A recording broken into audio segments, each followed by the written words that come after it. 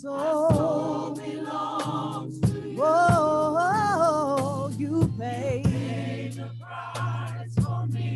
way back.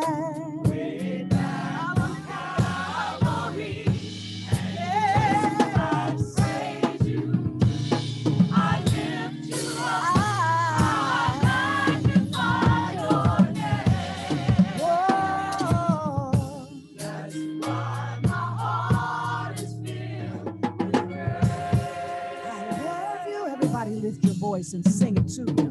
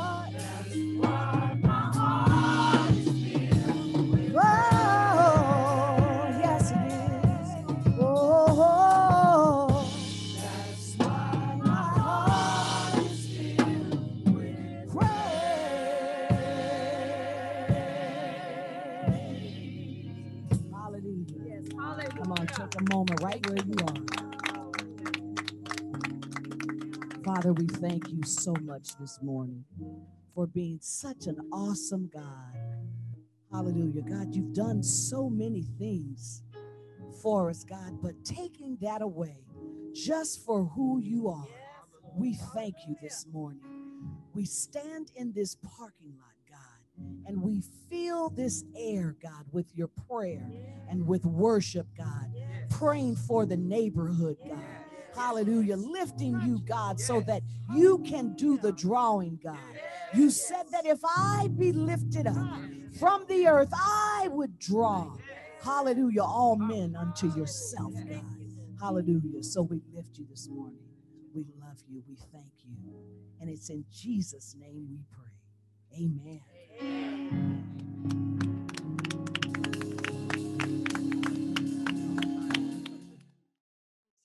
now we have Andre who's going to give us the highlights for the week and coming days. Andre?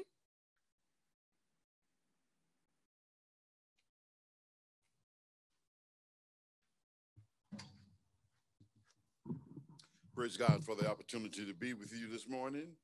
I have the announcements for the week of 718, which I guess today. Uh, how are you building your legacy for the next generation? Join us for a special workshop exploring the legacy stones Pastor Tammy shared in her sermon a few weeks ago. During this workshop, by led by Sheila Stevens, you will have the opportunity to identify your values, experiences, and life lessons, focusing on passing them forward to future generations, our legacy. The workshop takes place virtually on the church Zoom on July 24th from 10 a.m. to 1 p.m. for a special SBCC cost of $35 per person. Register at sobcc.org and purchase your tickets through our giving portal or pay by check. Please include Legacy Workshop on the subject line. We are empowering the village together. What's something you know now you wish you knew when you were a teenager? What's something you learned from another adult that has always stuck with you? The answers to these questions might make you a perfect participant for the SBCC's Re Empowering the Village program. Through REV, you'll have the opportunity to build strong, trusting, intergenerational relationships with other church members. Not only be able to share your wisdom and skills as part of the REE program, REV program, but you will also gain knowledge and skills in areas like developing future goals, receiving academic or spiritual support, career guidance, and much more. Get ahead of the pack before the program starts. Participants matching begins on September 1st. To be part of the program, complete the questionnaire and application available at sobcc.org. The deadline to submit is August 31st, 2021. And parents, if you have a child 11 or older, we would love to have them participate in this program. For any questions, contact the church office at office at sobcc.org. What's your healthcare strategy? Advanced healthcare planning is too important not to have a strategy in place. If you don't have a plan in place, it could lead to confusion and added stress for your loved ones. Join us live at the church for a one hour presentation outlining the importance of the Advanced Healthcare Directive with the opportunity to complete the necessary documents on site. COVID safety protocols will be in place and registration is required. So make sure to sign up at the church website and reserve your seat. Thank you.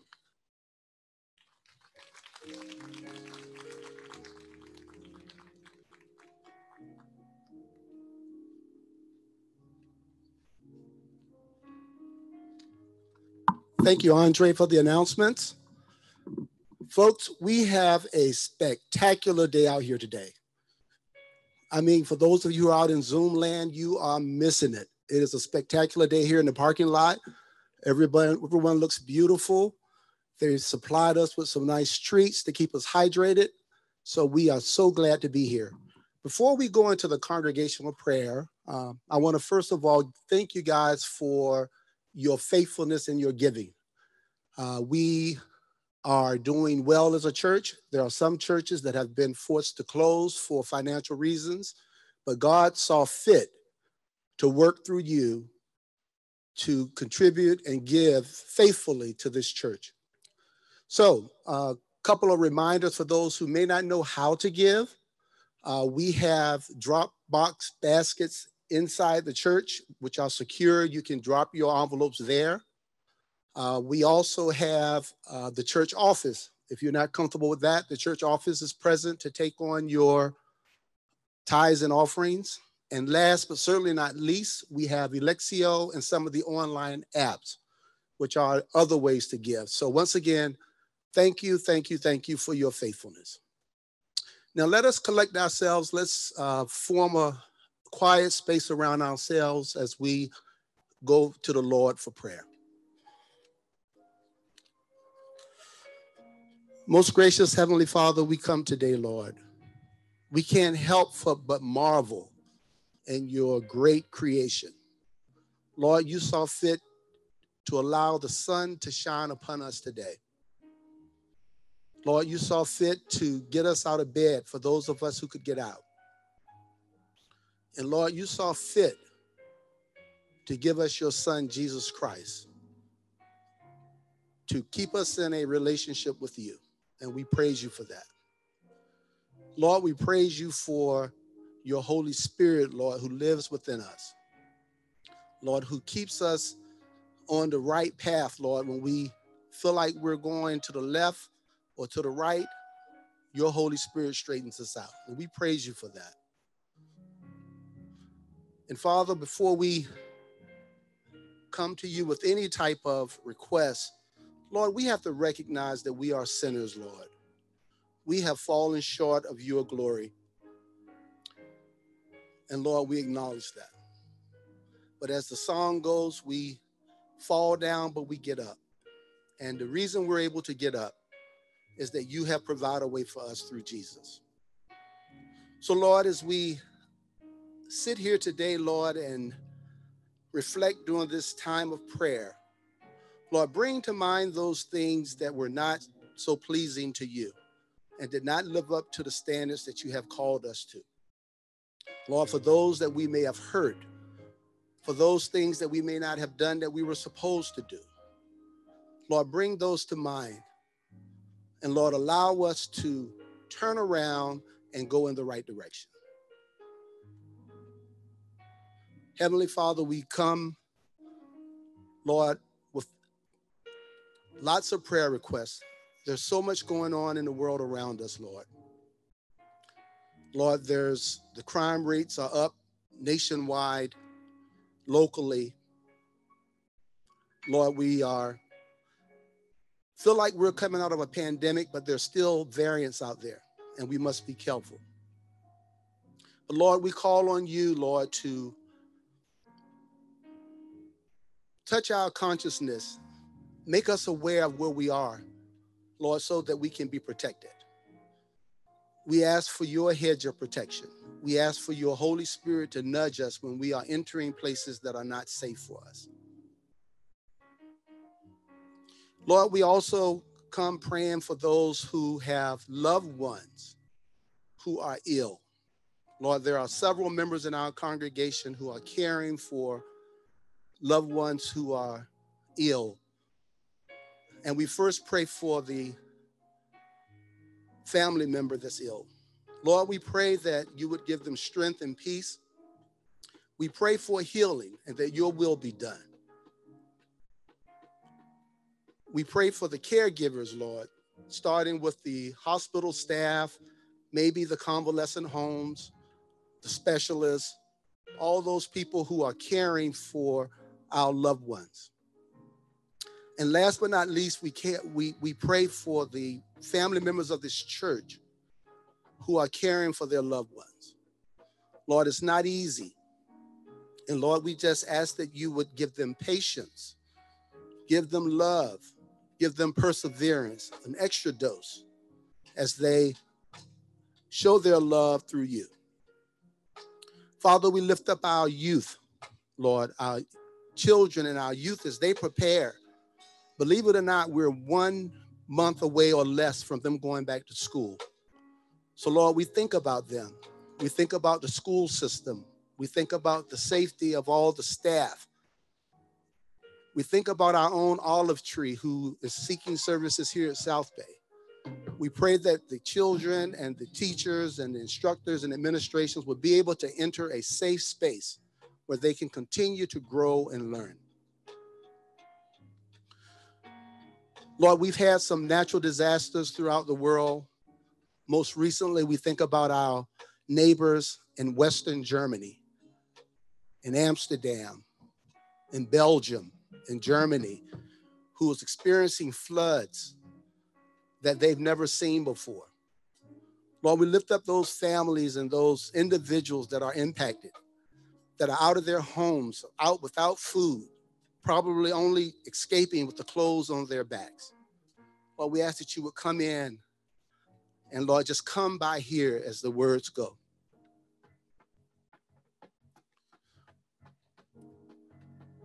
Lord, we lift up the remainder of the service. We lift up the choir. We lift up Pastor Tracy as she's going to bring us the word.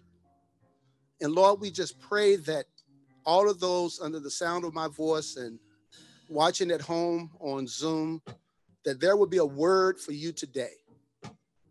Lord, that there will be something said today that you can take away and act on. It's more than just hearing what Pastor Tracy will be saying today, Lord, but it's also the doing. I pray that you give Pastor Tracy her calmness, give her wisdom, and let your Holy Spirit just take her over and let the words just flow. Father, I thank you for this time. I thank you for all of those who have participated in setting this event up. I pray for the team in the background that's working on Zoom that you would give them mercy and grace. We ask these things in the powerful name of our Lord and Savior, Jesus Christ. Let everybody say amen. So before we move on, um, we're going to have a selection by the choir. So, choir, you can proceed up. And then after the choir, we will hear our own Pastor Tracy bringing us the word. So God bless you all.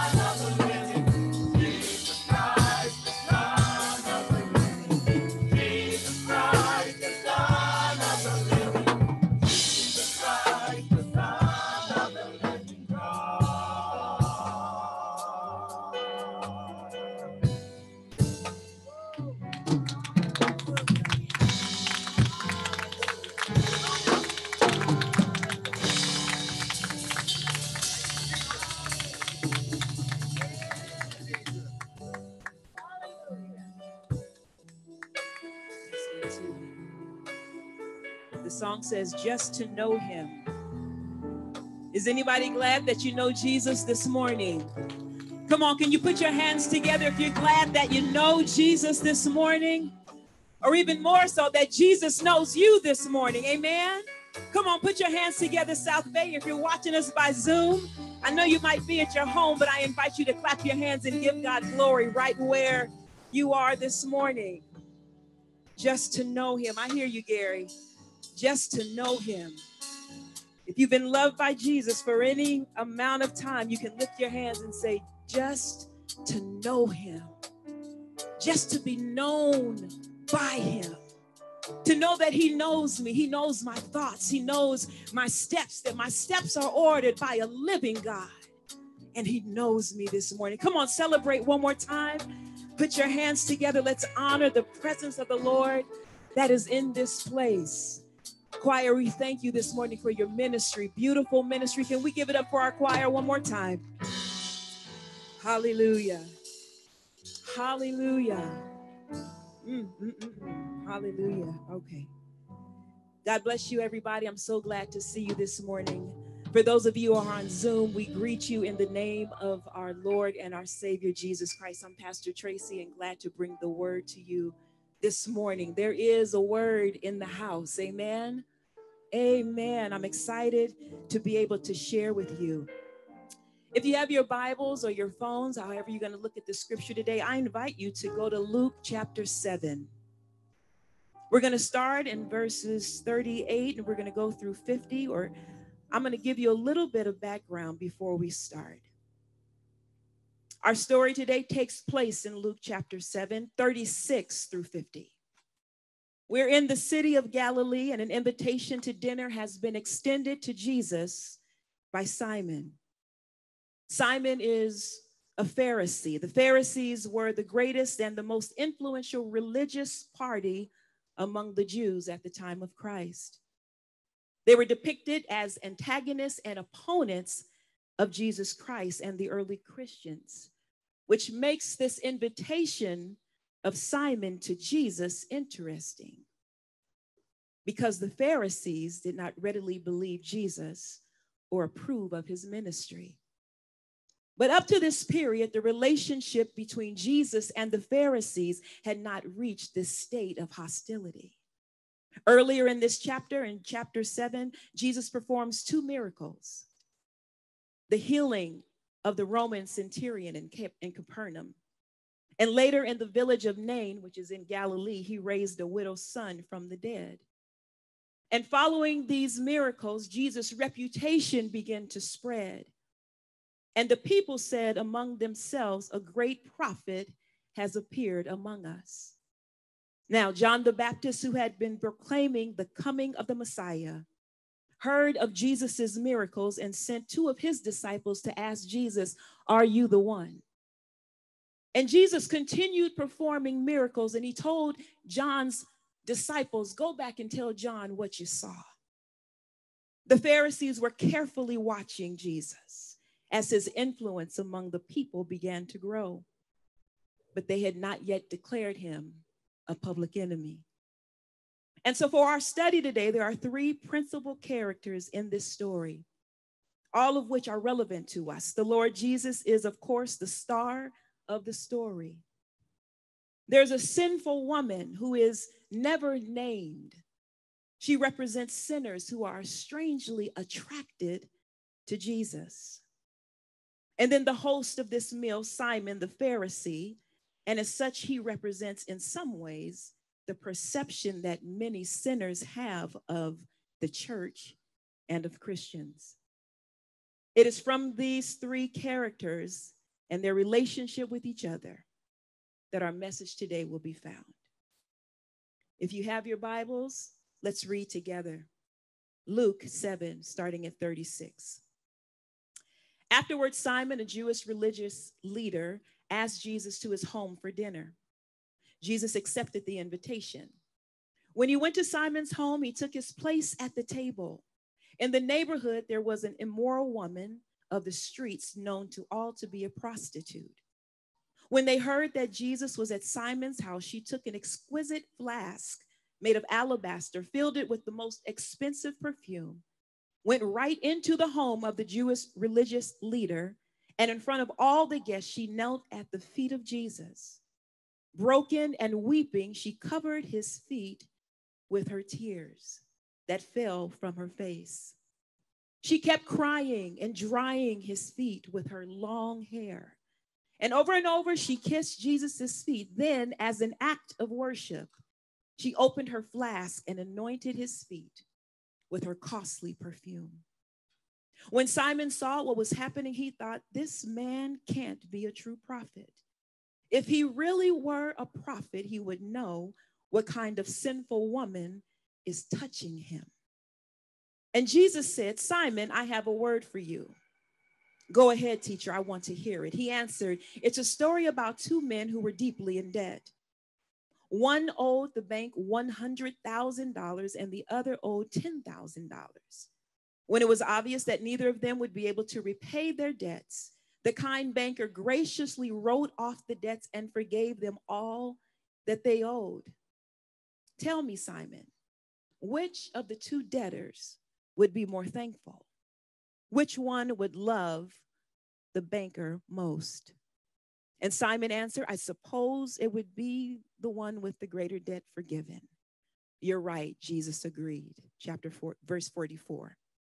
Then he spoke to Simon about the woman still weeping at his feet. Do you see this woman kneeling here? She is doing for me what you didn't bother to do. When I entered your home as your guest, you didn't think of offering me water to wash the dust off my feet. Yet she came into your home and washed my feet with her many tears and then dried my feet with her hair. You didn't even welcome me into your home with the customary kiss of greeting. But from the moment I came in, she has not, has not stopped kissing my feet. You didn't take the time to anoint my head with fragrant oil, but she anointed my head and feet with the finest perfume. She has been forgiven of all her many sins. This is why she has shown me such extravagant love. But those who assume they have very little to be forgiven will love me very little. Then Jesus said to the woman at his feet, All your sins are forgiven. And all the dinner guests said among themselves, Who is the one who can even forgive sins? Then Jesus said to the woman, Your faith in me has given you life. Now you may leave and walk in the ways of peace. Father, as we consider your word today, we ask that you would speak to us. Father, I pray that you would remove me out of the way and that only what you want spoken today will be spoken. God, I pray that you would prepare the hearts of those who hear the word today. Lord, it may mean something, it may mean something different for every person, God, but speak to our hearts this morning. We want to be better for the kingdom. Send your word, God. We give you glory in advance in Jesus' name. Amen. Amen. So I'm going to preach shorter if y'all say amen when I say amen. Hey, there you go. Plus, it's hot and Daryl is cooking barbecue in the back, so it's already messing me up. Praise the Lord. Amen. So listen, so what I want us to do, um, Dre or somebody, can y'all bring me a rock so I can hold this down so it'll stop flowing? Oh, thank you. Um, so, what I would like for us to be able to do, family, is to put ourselves in this story. Sometimes I find when I read the scripture, he literally brought me a rock. Literally, a rock. He's like, I do what I'm told. He's a married man, he understands. Praise the Lord. so, listen, let's put ourselves in this story. Sometimes I find it's better when I'm reading scripture to actually imagine myself there. So, we're in Galilee.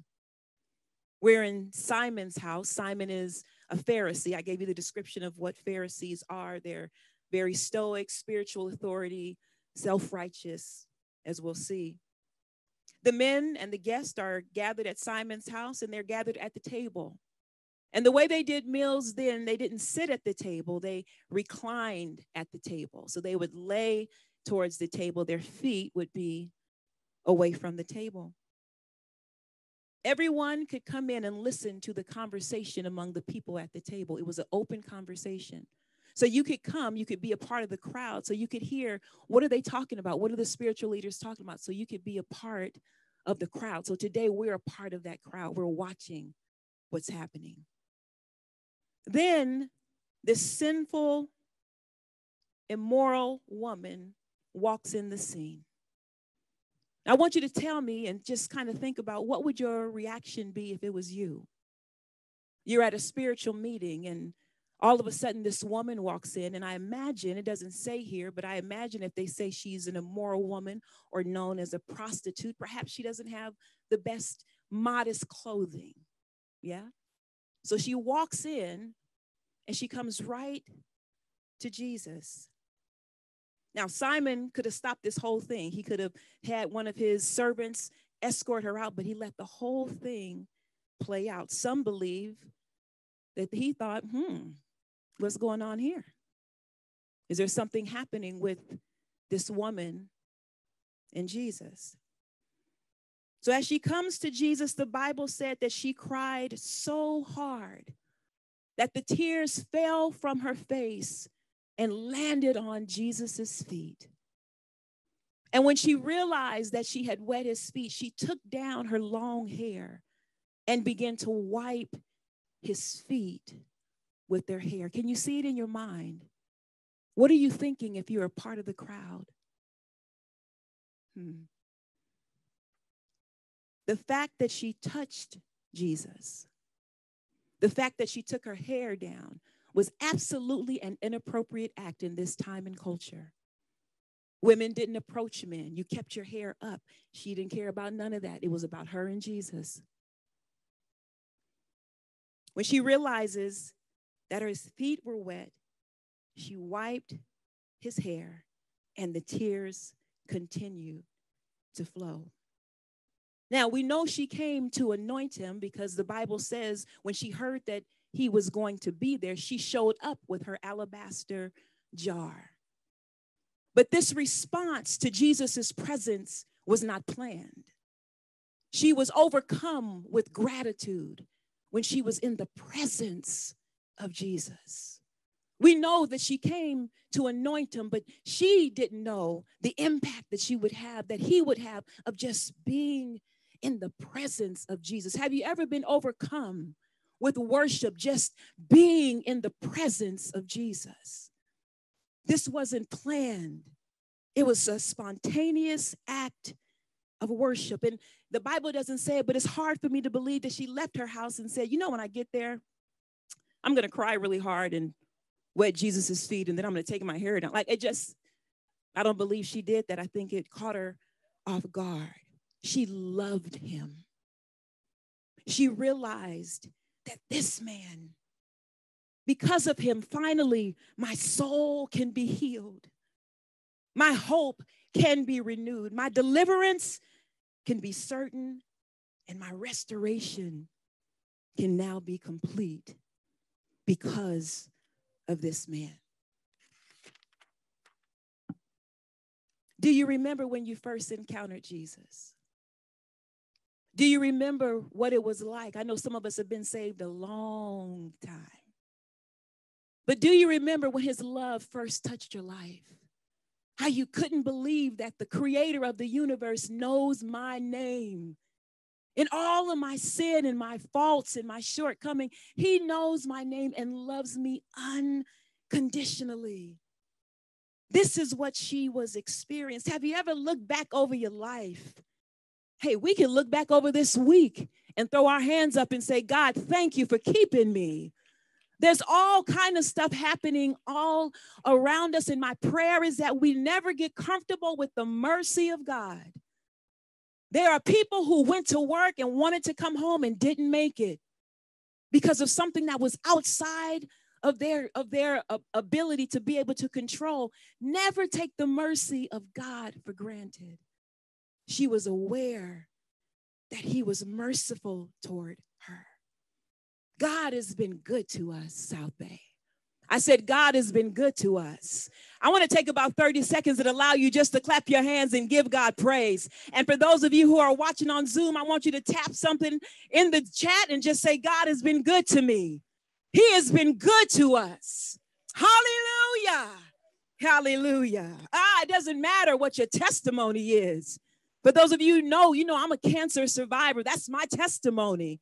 So I know I can say God is good, but what's your testimony? What can you look back over your life and say, if it had not been for the Lord on my side, I really honestly don't know where I would be. That is so much more than a song for a believer who has walked with the Lord any amount of time. Oh God, thank you for saving us. Thank you for healing us. Thank you for forgiving us in spite of ourselves. I think about the old hymn, Take Me Back. Take me back, dear Lord, to the place where I first believed you. The other thing we can learn from her is her unrelenting intentionality of getting to Jesus. She's going to the Pharisees' house. She knows all about the Pharisees. She knows how they believe. They are considered separate, separatists. They don't even like to be around people that commits sin. But here she comes. She's like, I came to see Jesus. I don't care about you, Simon, you, you, you. I came to see Jesus. And I love that she's so determined. She knew she was coming into a place where she would be judged. She knew she was coming into a place where she would receive scorn and that people would look at her and go, What is she doing here? She did not care. She came for Jesus. She did not let it stop her, regardless of rules, protocol, what other people thought. She came to Jesus. And this unnamed woman reflects the heart of a worshiper who's mindful of the Lord's goodness in their life and gives God the glory and honor that he is worthy of. May we be like there. You can give God a praise right there. May we be like this woman, forever grateful. And may our church be the kind of church that doesn't frown on this kind of worship. Notice the emotion. She is overcome with emotion and she is weeping. And, and Jesus could have rebuked her. He could have said, Hey, now wait, sis, hold it. He did not rebuke her, he let her worship. And I pray that we'll be the kind of church that if somebody comes to the altar or if somebody dances around this parking lot, that we don't get in the way of it and say, hold on, it don't take all that. You don't know what it takes.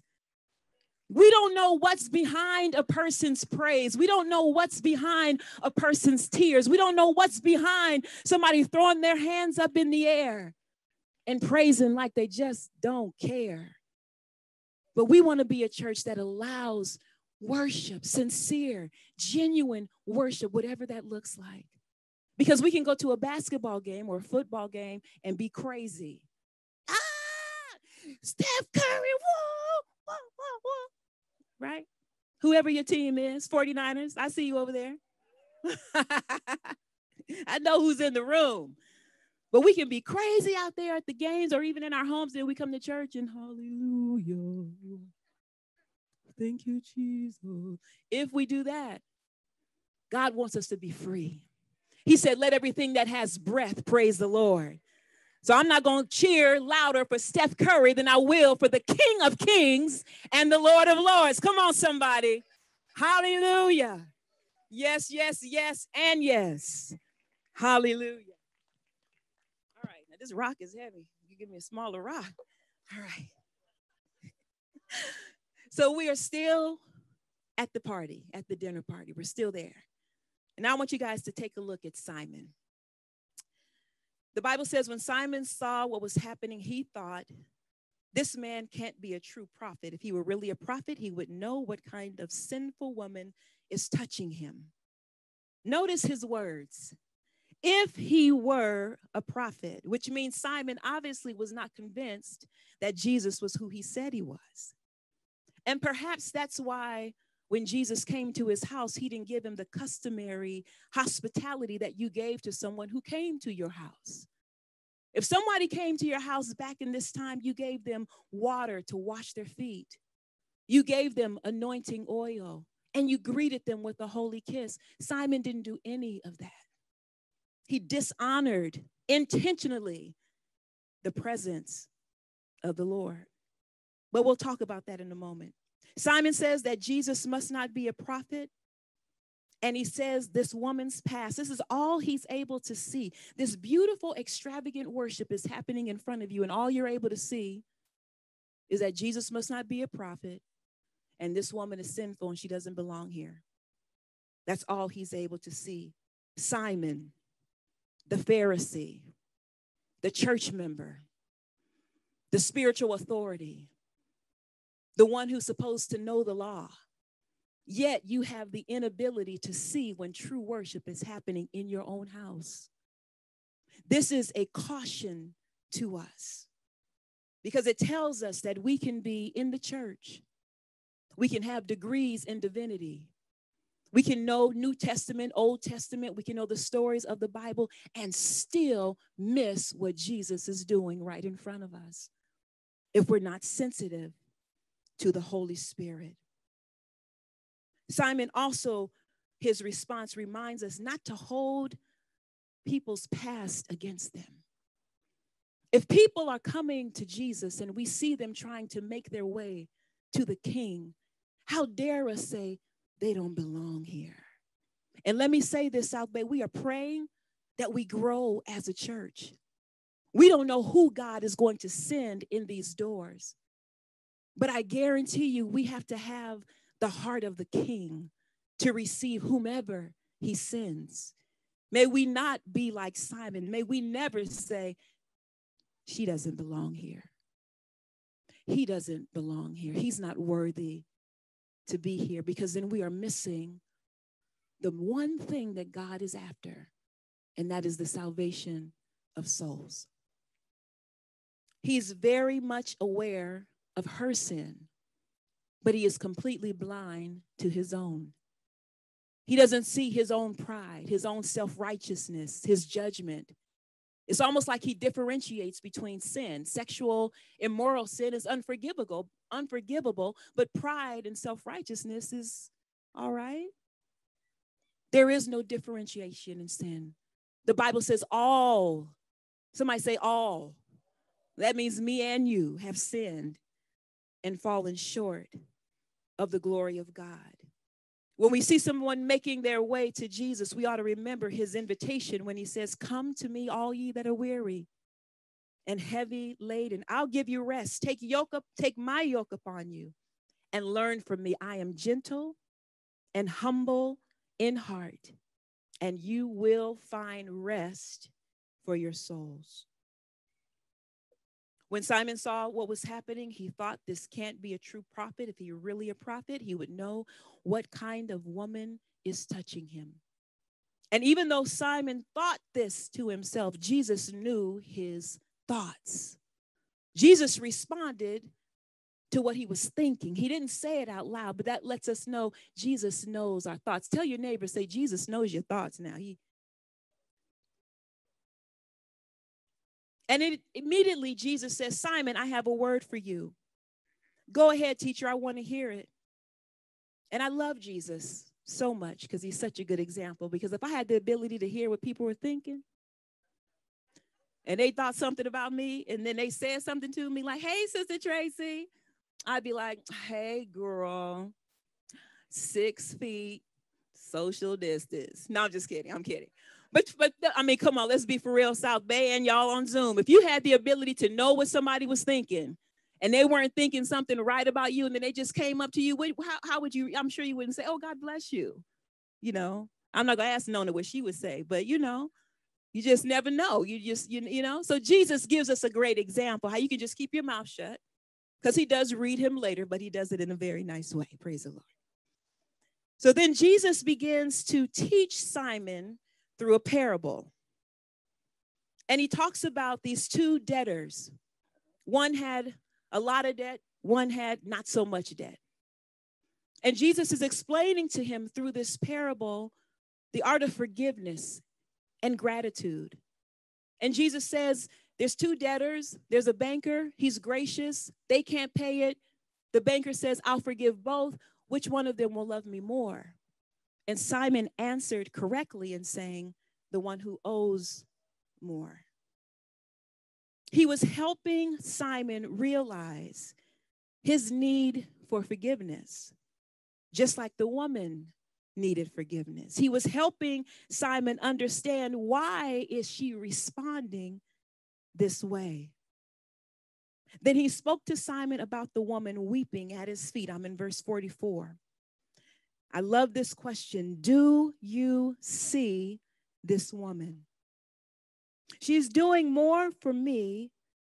She's doing for me what you didn't bother to do. When I entered your home as your guest, you didn't think about offering me water to wash the dust off my feet. Yet she came into your home and washed my feet with her many tears and then dried my feet with her hair. You didn't even welcome me into your home with the customary kiss of greeting. But from the moment I came in, she has not stopped kissing my feet. You didn't take the time to anoint my head with fragrant oil but she anointed my head and my feet with the finest perfume. She has been forgiven all her many sins. This is why she has shown me such extravagant love. But those who assume they have very little to be forgiven will love me very little. Jesus draws a great contrast between Simon and the woman. He is rebuking Simon for not showing him common, customary hospitality and not honoring his presence. And before we crucify Simon, I wonder if there have been times in our own lives when we don't give God the honor that we ought to give him.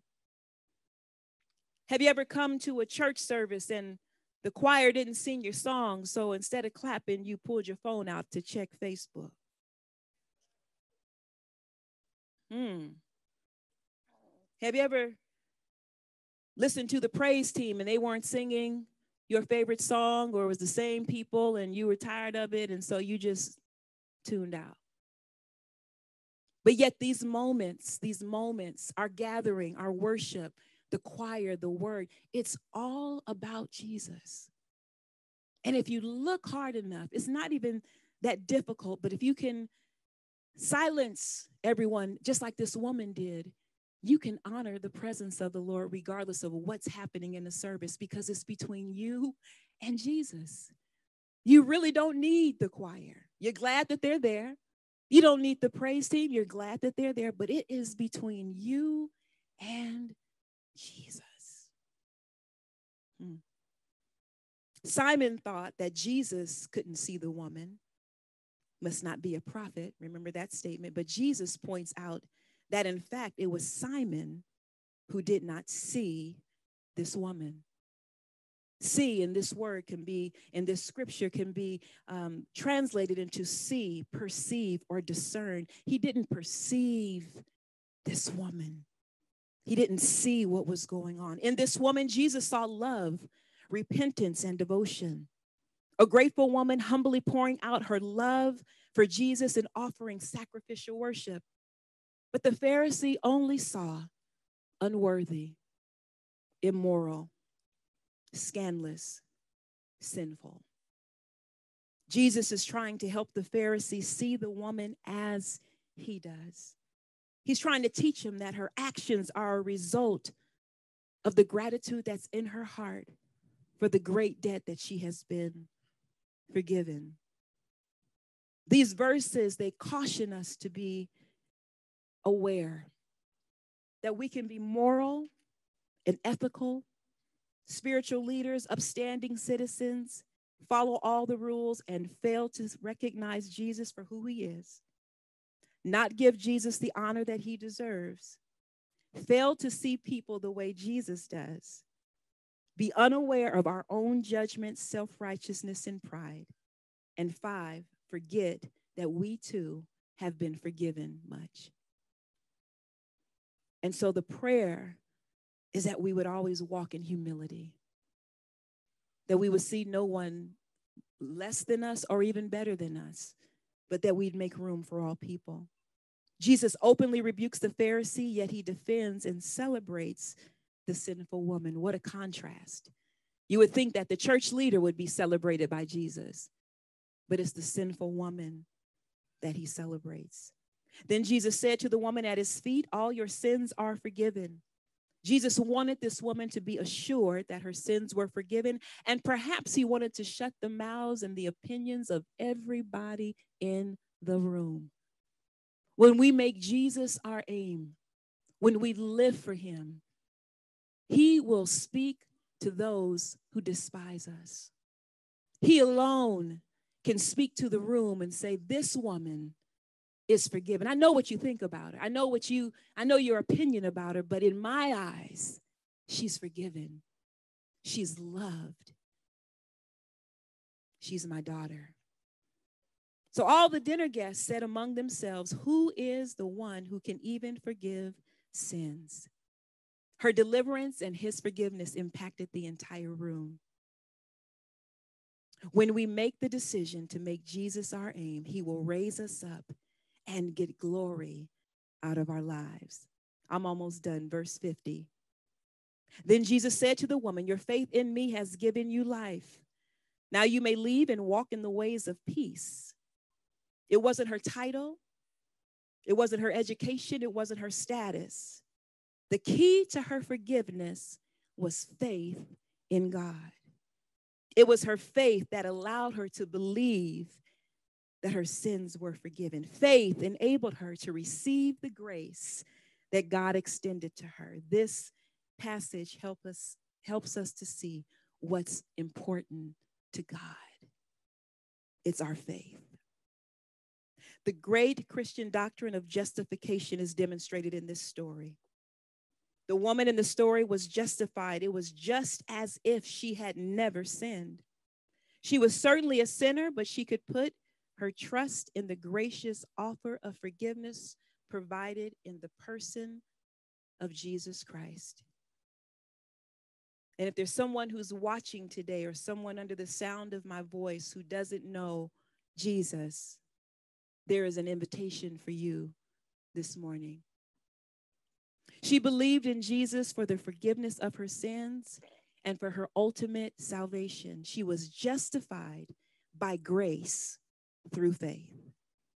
He told her to go in peace, and she walked in peace. This story is a love story, it's a story of contrast. It shows how Jesus responds to both Simon and the woman. And I wonder this morning, where do you find yourself in the story? Are you Simon and and you know, I had to ask myself this because I wonder if I was in the room. I asked you guys to be in the room. I wonder if I was in the room. Would I be able to see that this was an act of worship, or would I too say, "Hold on, sis, what's going on?" If you think about it, let's let's um use let's say Dr. Long was here the, even this afternoon, and then this woman comes because he's preaching the gospel message, and she's so overwhelmed to know that I can be forgiven that she falls at his feet and begins weeping. What, what would you do? Would you celebrate it and say, "Oh, she's coming to the Lord," or will we say, "Wait, now she she doing the most. She doing she don't need to do all that." Right? And so I don't want us to just throw Simon out the door without allowing Simon's response to hit us. Because perhaps there's some areas in us that we need God to soften. Perhaps there's some judgment in us, some self righteousness in us that allows us to look down on people or to judge people unfairly like this anonymous woman, some of us may be searching for Jesus. I observe his respect for her. No one else in the room respected her, but he looked at her and said, All your sins are forgiven. He could have backed off of her, he could have rebuked her when she reached to touch him, but instead she found a Jesus with open arms. And so, for anyone who may be watching or that's in our parking lot or under the sound of my voice that doesn't know Jesus, it doesn't matter what you did. It doesn't matter your past. Jesus stands with open arms. Jesus is ready to receive you. The Pharisee, Simon, wrapped in the cloak of social respectability, watches, closed minded, and judgmental. His image is of a God who doesn't mix with sinners. He despises this woman who has no name but sinner. Yet she recognizes her need of Jesus and encounters his compassionate gaze, his total forgiveness, and his peace. Tears of gratitude flow from her heart. Simon, however, who feels no need of forgiveness, misses the point completely. So, Father, when we are narrow minded, remind us that forgiveness is your constant response to darkness.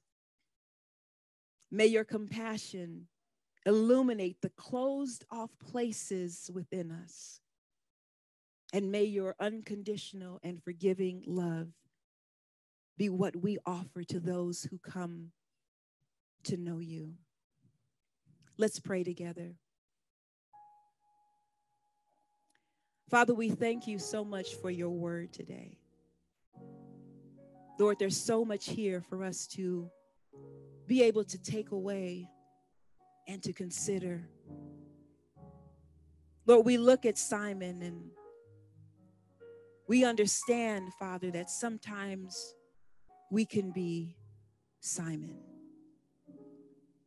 And Lord, we ask you for forgiveness this morning for those times when perhaps we didn't treat another person in the way that you would, that we did not see them the way that you see them. Soften our hearts.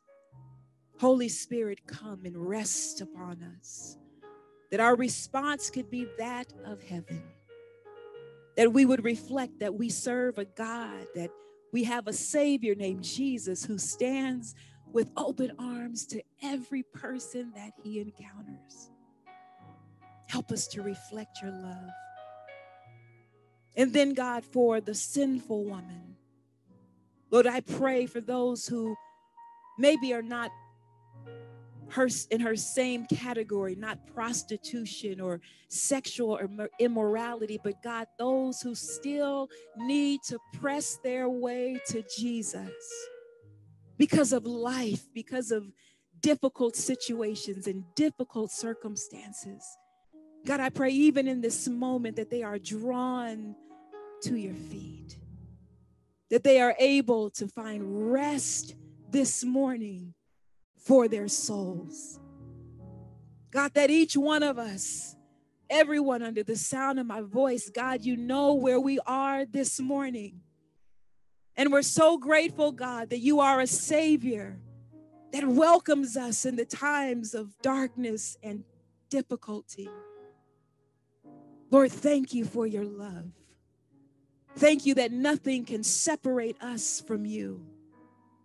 And thank you, God, that you died on the cross that we all might be able to live and have abundant life.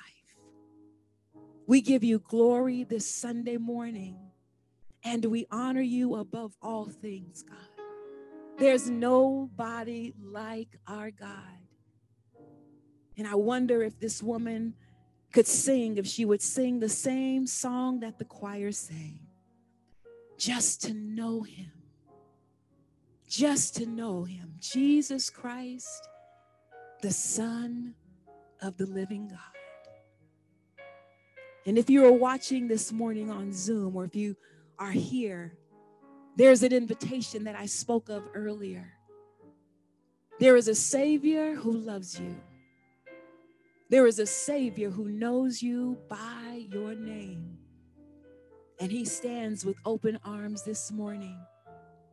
And if you want to know just a little bit more about this Savior, if you're here, I can talk with you after service. If you are online, I invite you to please put your information in the chat, and someone from our staff will get back to you and introduce you to the love that you have never known. Can anybody testify this morning about the love that we've never known from this man, this Savior that we call Jesus? Ah, and we give him honor this morning. Choir, I'm gonna have you come back up and we're gonna sing that just a little bit more. Come on, move quickly. Just to know him, just to know him. And then we're gonna go home and eat some barbecue, I think. I don't know. Hallelujah. But I want you to stay in this space of worship this morning because Jesus is here and he desires to love us. He desires to help our hearts. He desires that we would be like him. I just want the chorus just to know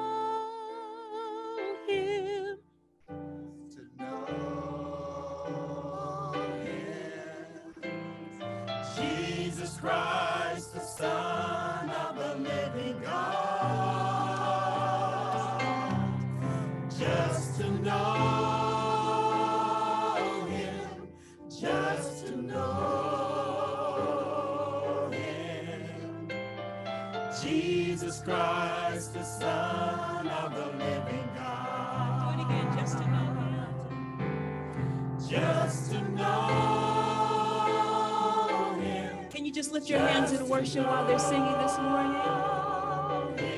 Jesus Christ, the Son of the living God.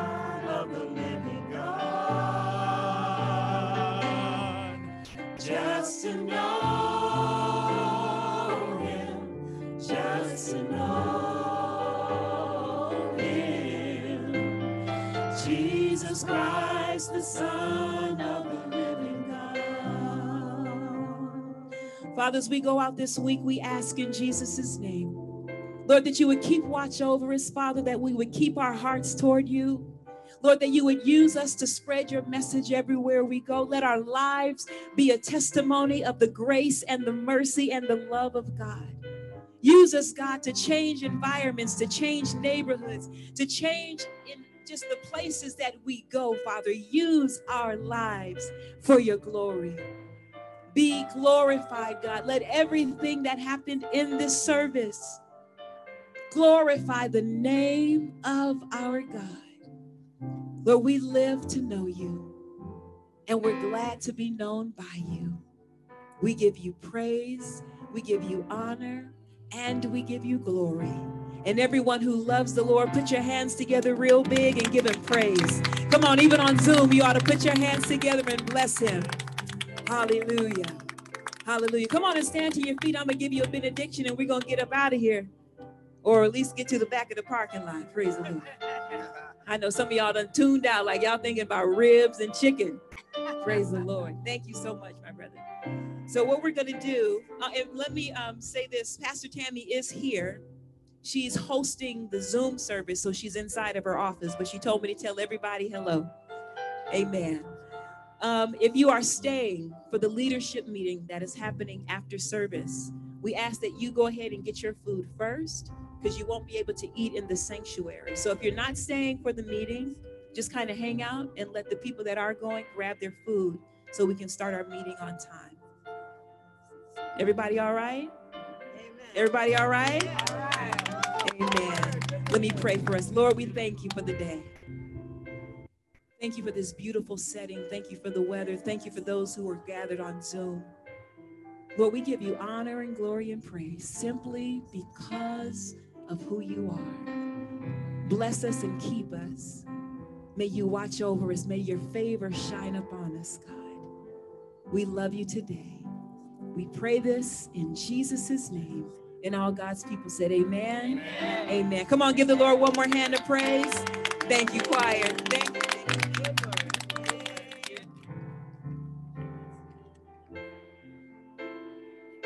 Family, as we prepare to leave for today, what a word that we have heard from Go the eat. Lord.